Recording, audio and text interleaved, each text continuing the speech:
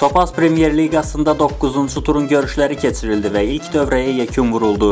9 turdan sonra Qarabağ zirvədə, Sumqayıt isə sonuncu pillədədir. Futbol Press TV turun icmalını təqdim eləyir. Simur Qazal görüşü sülhlə yekunlaşdı. Qərib İbrahimovun qoluna Simurq ikinci hissədə penaltidən cavab verdi. 1-1. Maç elə bu hesabla da yekunlaşdı. Görüş ərzində baş hakim Ramil Diniyev sarı vərəqə üçün 8 dəfə əlini cibinə atmalı oldu. Rəvan Xəzər Lənkəran görüşündə də eyni hesab qeydə alındı. Buraxılan erkən qolla geri düşən ağyaşıllar Nildonun 75-ci dəqiqə qolu ilə hesaba tarazlıq gətirə bildilər. Bundan sonra maçda qol olmadı və tərəflər hərəyə bir xalla kifayətləndilər. Görüş ərzində 6 sarı vərəqə göstərildi. Güclü komandaların qəniminə çevrilən Sumqayıt isə Interlə maçda büdrədi. İlk qolu Sumqayıtlı Adil İbrahimov vurdu, amma öz qapısına. 31-ci dəqiqədə Vaqif Cavadovun vurduğu qolsa yekun nəticəni müəyyənləşdirdi. 90 dəqiqə ərzində 5 futbolçu qarşısında sarı vərəqə gördü. Turun gözlənilməz nəticəsi Tofiq Bəhramov adına Respublika stadionunda gerçəkləşdi. Bakını qəbul edən Qarabağ rəqibi 3 cavabsız qolla məğlub elədi.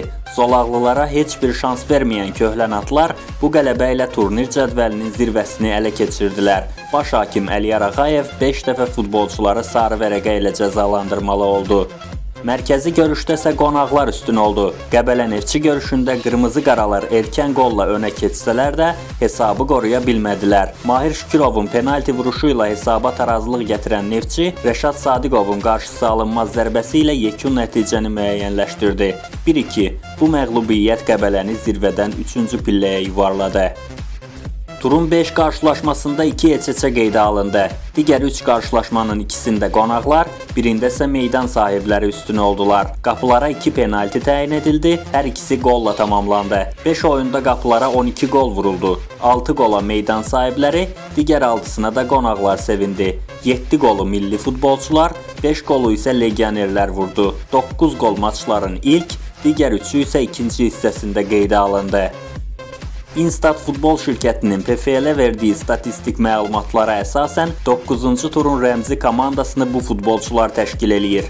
Qapıçı Diego Costa, müdafiəçilər Ansia Golli, Admir Teli, Rəşad Sadıqov, Mahir Şükürov, yarım müdafiəçilər Flavinio, Richard Almeida, Araz Abdullayev, Marinaldo Silva, hücumçular Junior Nildo, Nikolas Gelaşvili. Nildo rəqib qapısına ən çox zərbə endirən, Richard Almeida isə komanda yoldaşlarına ən çox ötürmə verən futbolçudur. Azalın futbolçusu Viktor Igbakoya ən çox top itkisinə yol verən futbolçudur. Onun komanda yoldaşı Qərib İbrahimov isə tur ərzində ən çox qayda pozuntusuna yol verib. Turun ən yaxşı oyunçusu isə Neftçinin Braziliyalı yarım müdafiəçisi Flaviniodur.